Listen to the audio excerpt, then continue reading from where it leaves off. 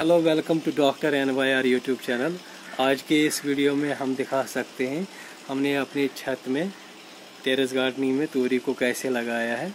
आप ये देख सकते हैं, ये तोरी का पौधा है। छः या पाँच महीने पहले हमने लगाया था इसको। और अभी हमने इसमें दो तीन दिन पहले भी इसको तोरी बहुत सारी काट दी है। अभी इसमें लगे भी है और फ्लावरिंग भी आ रही है इसमें। ये हमने सिर्फ़ इसमें ऑर्गेनिक सिर्फ़ खाद ही डाली है, गोबर डाला है और मिट्टी में हमने डाला है सिर्फ़ नॉर्मल जो गार्डनिंग सॉयल होती है वो डाली है।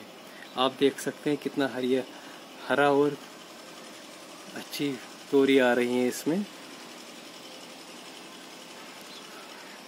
प्लीज़ हमारी इस चैनल को सब्सक्राइब कर दीजिएगा और अगर वीडियो अच्छा लगा तो इसको लाइक कर दीजिएगा और शेयर कर दीजिएगा। Thank you very much.